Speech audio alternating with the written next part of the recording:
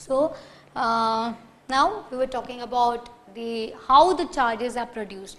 So, this part was really very important that how charges are produced. You need to understand that very very properly.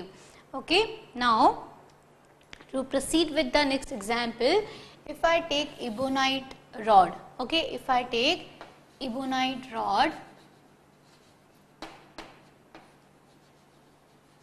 okay, and hang it like this.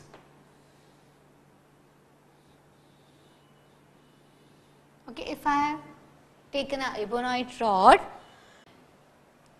okay, and if I rub this ebonite rod with wool, okay, if I take one ebonite rod which is I have suspended like this, it, okay, it is attached to the thread and it is rubbed with the wool. So, what will happen you know children? What will happen? Now, if I bring one more ebonite rod over here, this one is also ebonite, okay. So, it will get what? It will get attracted, okay.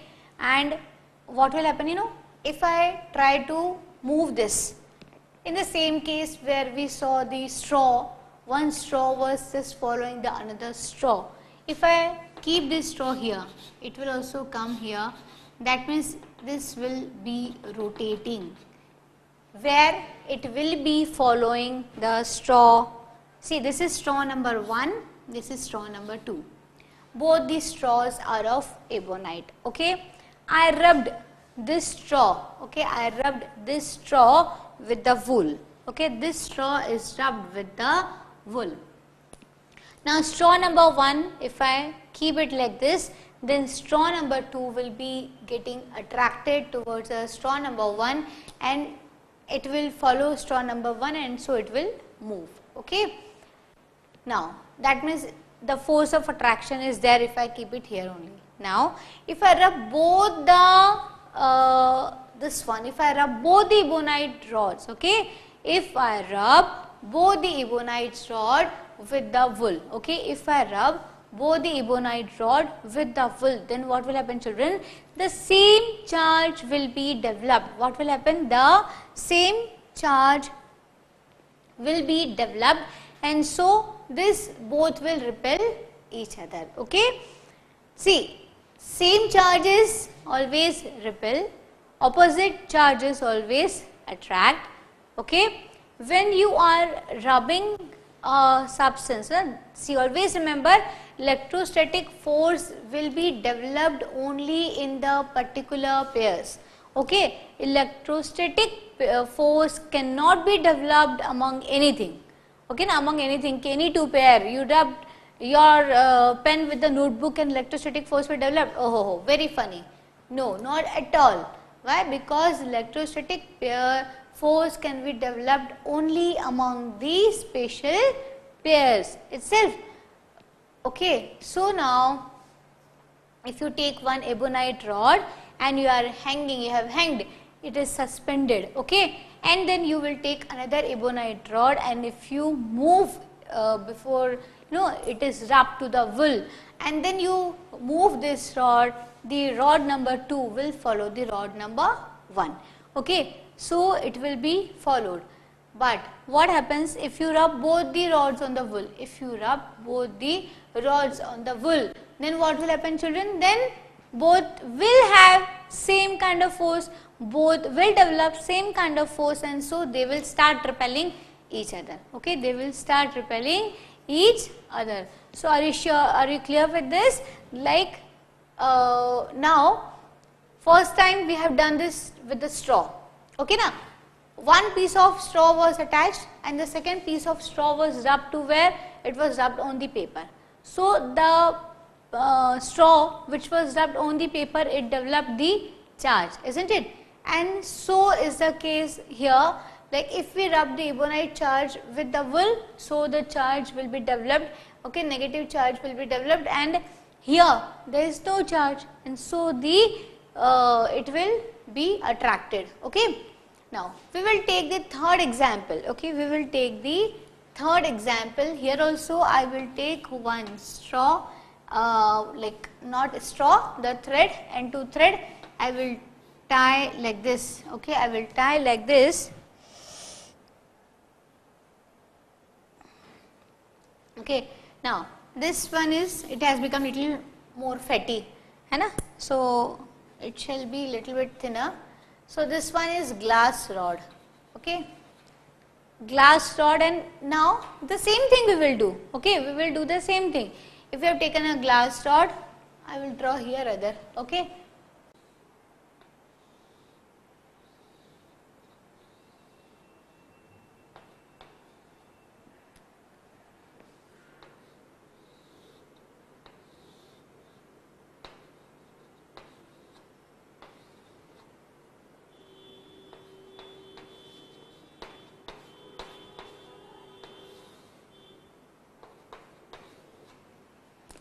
So, I have taken one like again the same thing thread is there. Then to this we have added one we have you know attached one glass rod and here also we have taken one glass rod. Now this glass rod will be rubbed on the piece of the silk okay? This glass rod will be rubbed on the piece of a silk and then what will happen? This rod will develop children positive charge okay now again the same thing, if you move this, okay, this number 1 is moved, so number 2 is going to follow number 1, okay. And if you keep it then both will get attracted. Now again the same thing what you do, you will rub both the things with the silk. If you do this, both will develop same charge, okay. If you rub only one, so what is happening? The uh, this one the rod where which you are rubbing only this one is getting uh, charge. Only this one is getting what? Only this one is getting positively charged. It is becoming positively charged but this one is it is not having any charge. So again it get attracted isn't it? But when you rub both the rods on the silk then both of them will take what? The same charge. Okay? And so again the same charge will repel each other and so it won't move okay? So this is about about electrostatic force okay? Now how electrostatic force is measured children? So it is done by electroscope okay? It is done by electroscope. How can we define electroscope Electroscope is a device which is responsible for just what uh, this electroscope is a very small device which is used to detect okay which is used to detect the charges. So it is it is a device which is used to detect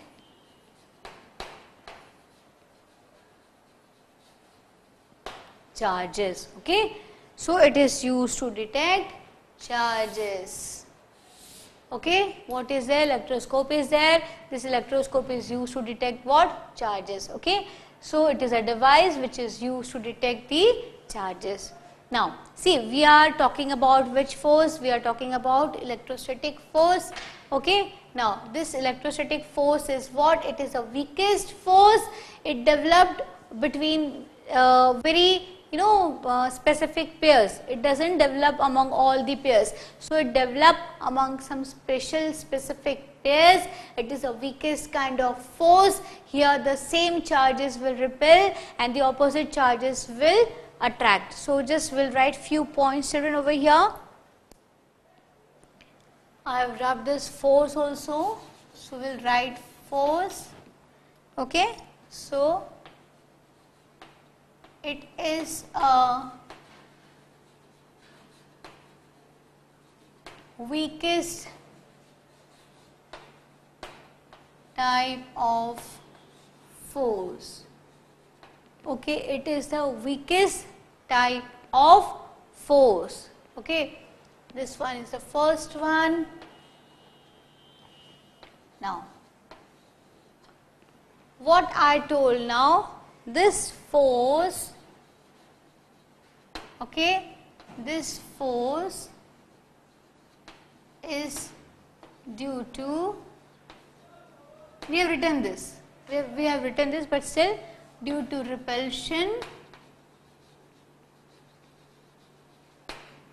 of the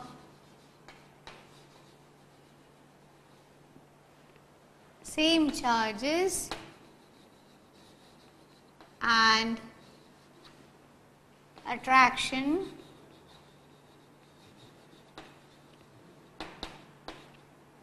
of the opposite charges. Okay, then what is the third one? I said this cannot be developed between any all the pairs or like you know uh, between anything, you know, between all the objects. No, this force can be developed. Okay, this force uh, this force can be developed only among some specific pairs. Okay, so this force can be developed. Okay, this force, these are the very important three points it is the weakest type of force. That means this force is not very strong. This force is due to repulsion of the same charges and attraction of the opposite charges.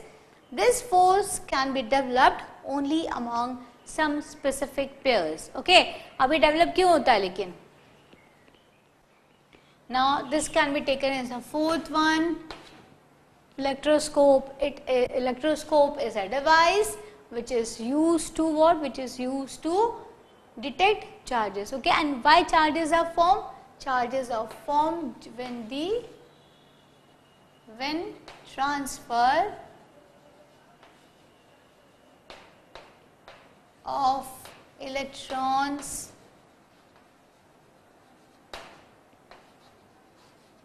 takes place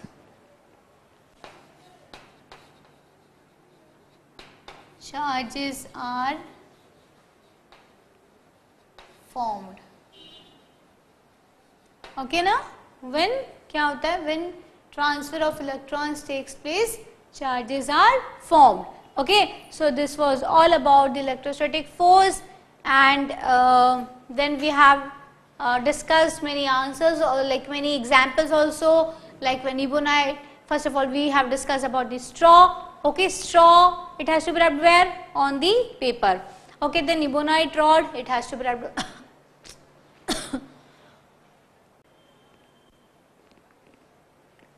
so straw has to be rubbed where? On the paper. Then ebonite rod we discussed it has to be drawn where? On the wool. Then we discussed glass rod it has to be rubbed where? On the uh, what? Where? Silk isn't it. So there are specific pairs which can be this force can be seen between these kind of pairs only okay. So even I can write the examples over here of the pairs.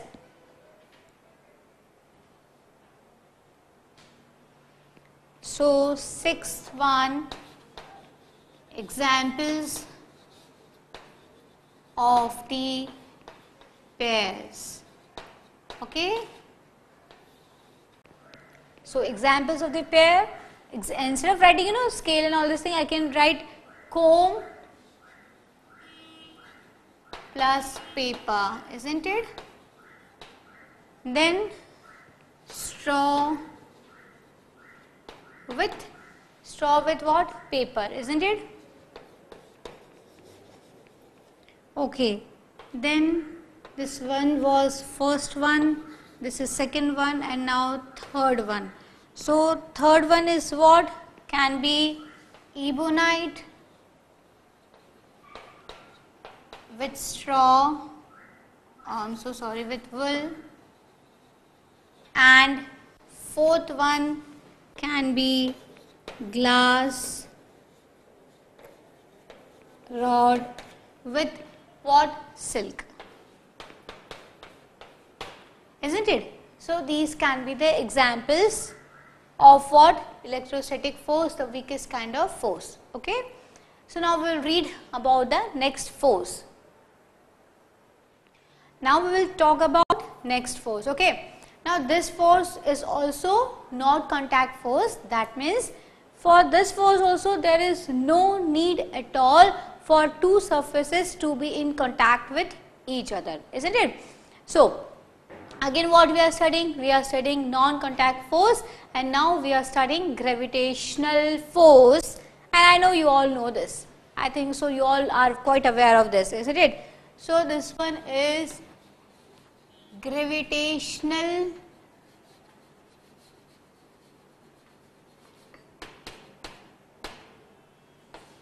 force. Okay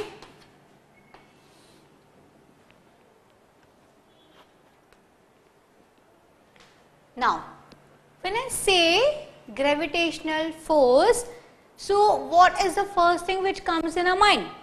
The first thing which comes in our mind is due to gravitational force like uh, nothing is flying in the sky isn't it? Nothing is flying in the sky means I am not talking of the birds. In journal I am saying like things are there okay on the surface of the earth. You can and I can see them isn't it you are able to walk I am able to stand. Things are there on the place isn't it? Or else if the gravity is not there or in absence of gravity what would have happened the things would have flied would have moved in the air randomly isn't it? So thanks to gravity thanks to gravitational force isn't it? That we are able to stand we are able to walk and we are able to do all our things which are supposed to do we have uh, our you know the places uh, in fixed the things are fixed all is because of what gravitational force. So, uh, how can we define gravitational force children? How can we define gravitational force? And uh, this force is exerted by whom? You all know this. Who is exerting this force? Earth is exerting, isn't it?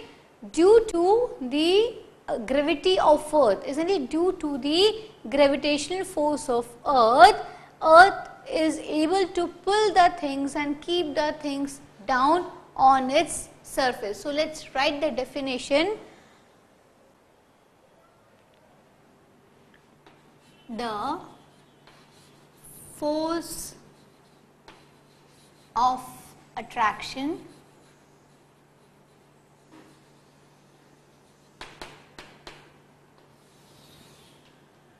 Due to which?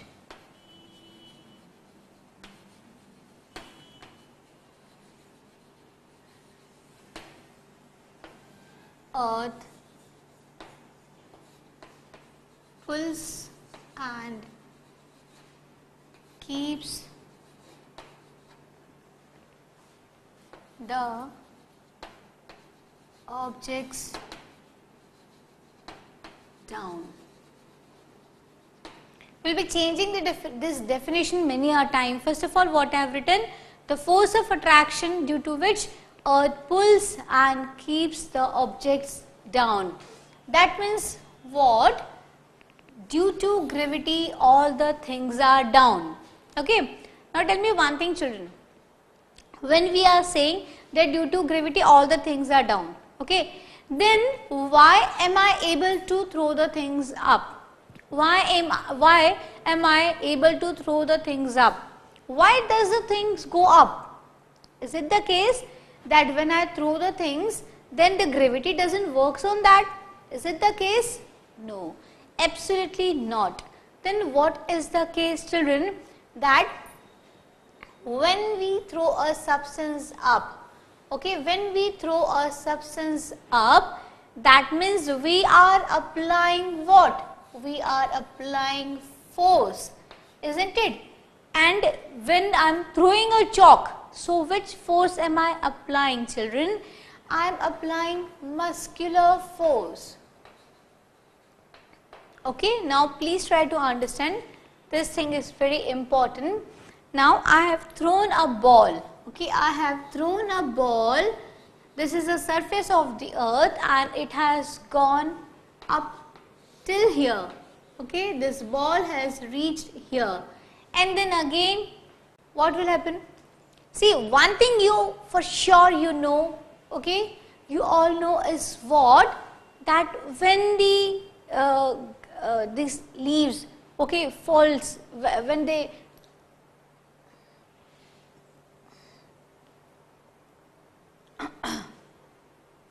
okay. So, when this leaves, uh, you know, comes down from the leaves, it will fall certainly on the surface of the earth only. It won't go up. Will it fly high in the air? Even it will fly for some time, eventually it is going to come down, isn't it?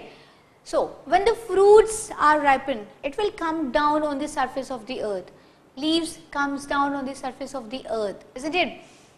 Uh, when you throw things up, it comes down. Why does it happens? Uh, before like Isaac, Sir Isaac Newton also, many of the, you know, many person would have uh, observed things coming down, falling down, okay, raindrops coming down and not flying up in the sky. We have atmosphere. Why? Because of the gravity.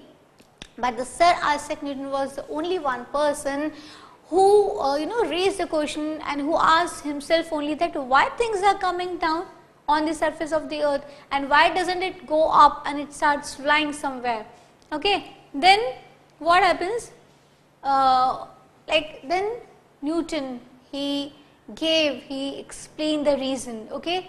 Then okay, so coming back to the point, now when I am saying that due to gravity the things are there on the surface, okay. Then why does it goes up? When I throw a ball, why a ball goes up children? So, when I throw ball from a position of A it reaches to position B and after some time it again comes from B to A. So, which kind of force am I applying children? I am applying muscular force, isn't it? I am applying muscular force.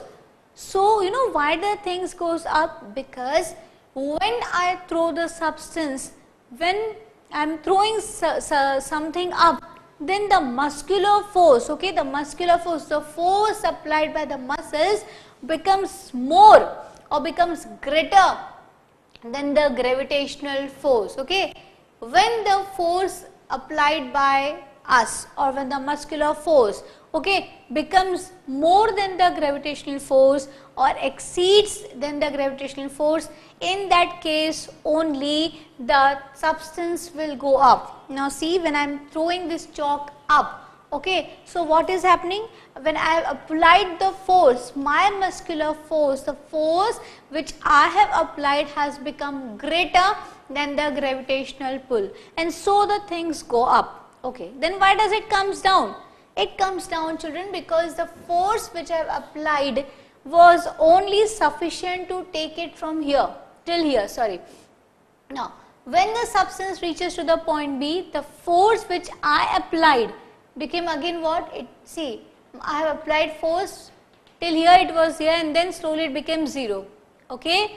So, the point where it becomes 0 again what will happen or you know even if it does not become 0 but the point where my force become lesser or the point where the gravitational force become more than the muscular force are you getting my point when I am applying muscular force the substance goes up and why does it comes up?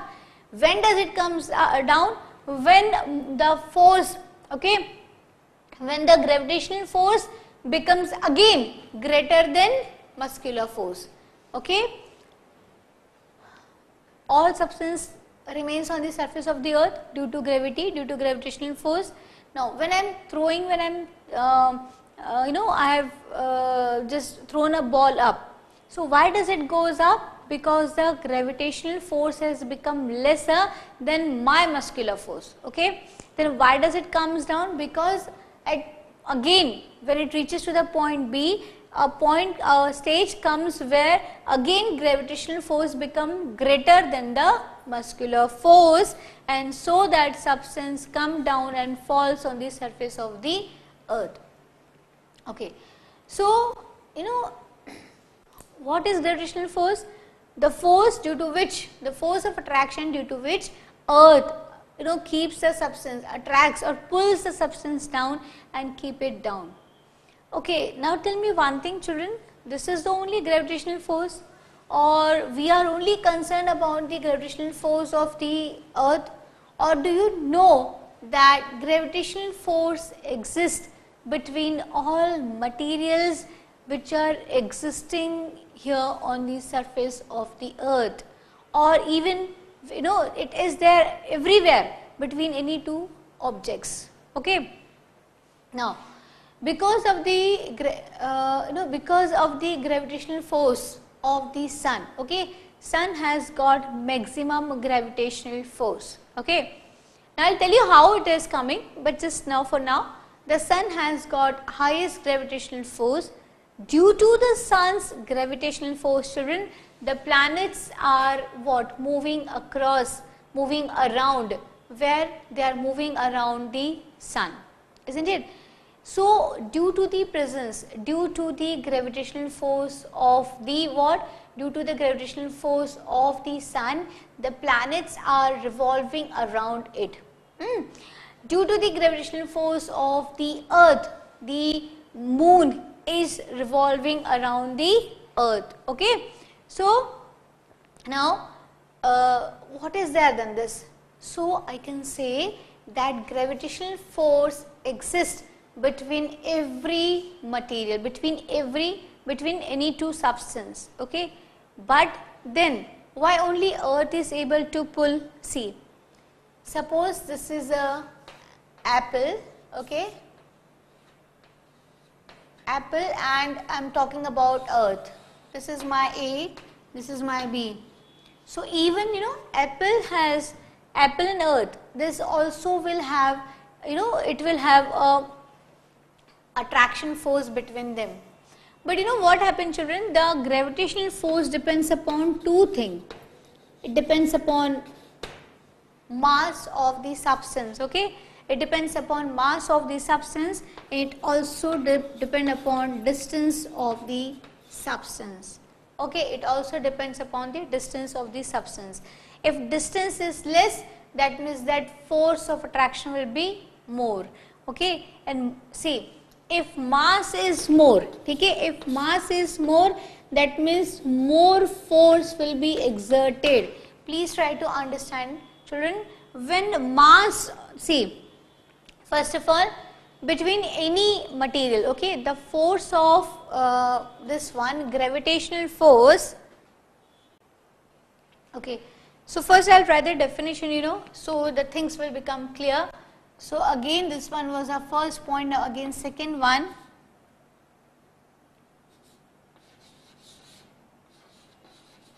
Gravitational force so much of dust is coming from this.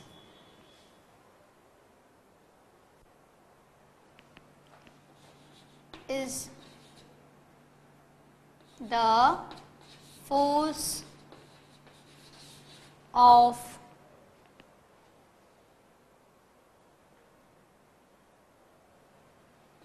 attraction between any two materials.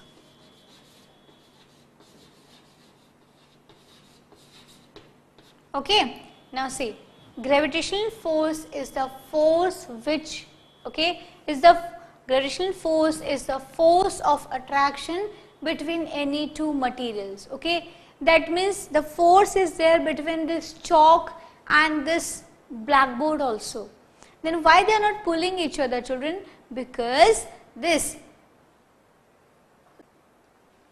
because gravitational force depends upon two things okay? Gravitational force depends upon two things.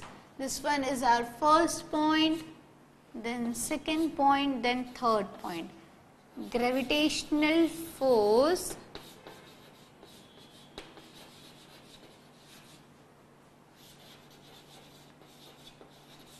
depends upon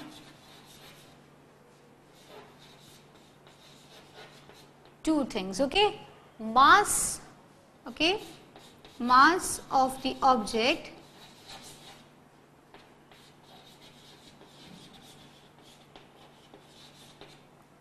and distance. So much of noise this chalk is making. And distance between the two okay? So see First of all, we know that force of attraction with which the earth pulls the things down. The force of attraction due to which the earth keeps the substances or pulls the substances towards itself is gravity.